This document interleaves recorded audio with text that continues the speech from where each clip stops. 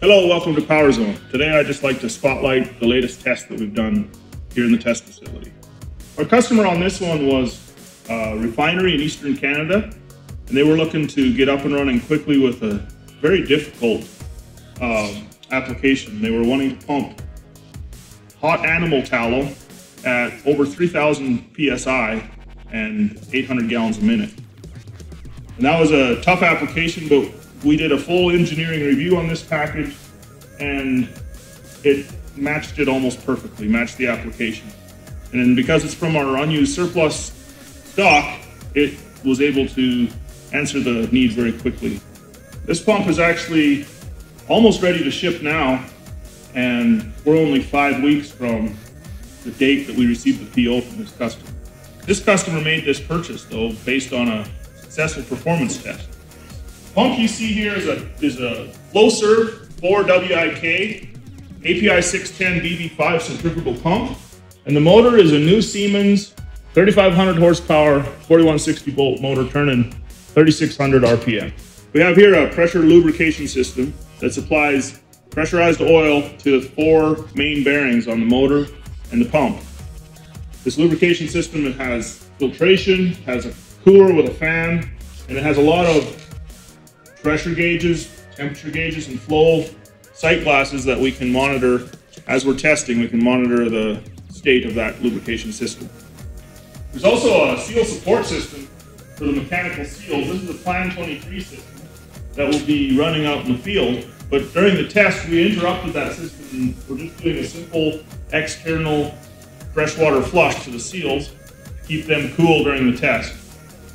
As we're running this test, our operators are monitoring temperatures, pressures, flows.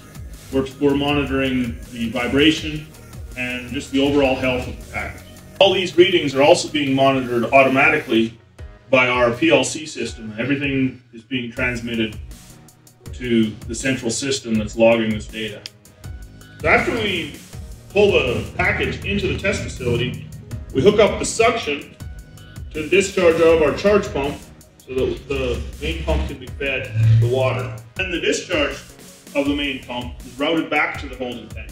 Since this is a test environment, we actually have to create quite a restriction for the pump to pump against.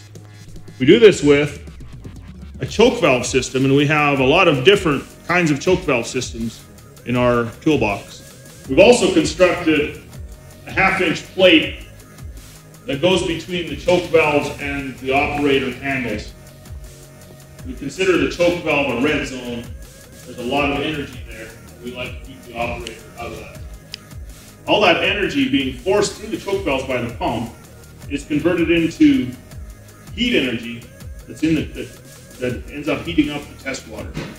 On this test, we're required to run a customer witness function test for four hours continuously. And during that time, the water would become extremely hot.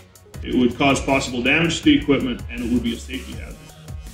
To cool the water, we have a separate loop taking water out of our tanks and through a large cooler just outside our test facility. To power the test, we have a big diesel generator set sending power to a medium voltage VFD and that in turn powers the motor and controls the speed of our test. Our team has been trained extensively in the operation and maintenance of all this equipment, and we have accomplished countless tests right here in this facility. This test is just another great success. We tested at up to 1,100 gallons per minute and 3,700 PSI. It was safe, it was on target, and it was a lot of fun.